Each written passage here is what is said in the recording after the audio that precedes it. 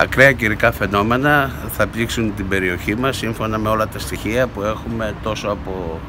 την μετεωρολογική υπηρεσία όσο και από τον καλαματιανό μετεωρολόγο Κώστα Μενούνο. Ε, σε, λίγη σε λίγες ώρες στην Πεσσινία αρχικά θα πνέουν ισχυροί άνεμοι 6 με 7 από φόρ ε, και οι οποίοι όταν θα εξασθενήσουν τότε θα αρχίσουν καταρακτώδεις ε, βροχές μεγάλης ραγδαιότητας λίγο πριν ή λίγο μετά τα μεσάνυχτα. Επομένως στο Δήμο Καλαμάτας βρισκόμαστε όλοι σε επιφυλακή. Ο Δήμαρχος, Αντιδήμαρχοι, Μηχανικοί, Πρόεδροι Κοινοτήτων, ε, μηχανήματα, οχήματα, χειριστές, οδηγοί, ε, αλλά και η Δημοτική Αστυνομία, η οποία θα δέχεται ε, για κάθε σοβαρό λόγο κλήσεις στο 27 213 67 50 27 213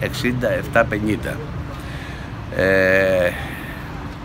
συνεργεία λοιπόν τις προηγούμενες ημέρες ακριβώς για αυτό το λόγο επειδή περιμένουν μακριά καιρικά φαινόμενα έκαναν αυτοψία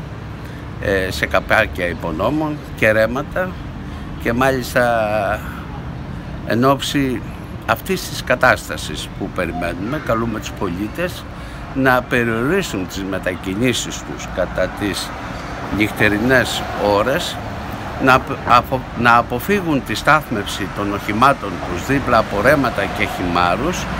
αλλά κυρίως να αποφύγουν να παρκάρουν σε, σε πολύ στενούς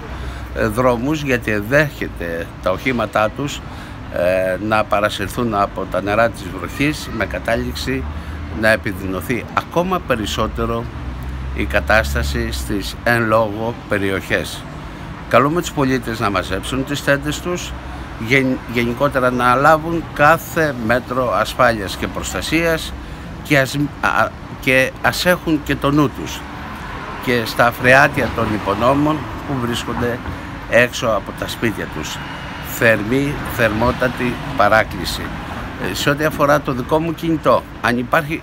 έκτακτος, έκτακτος και σοβαρός λόγος, είναι το 69 77 58 93 82.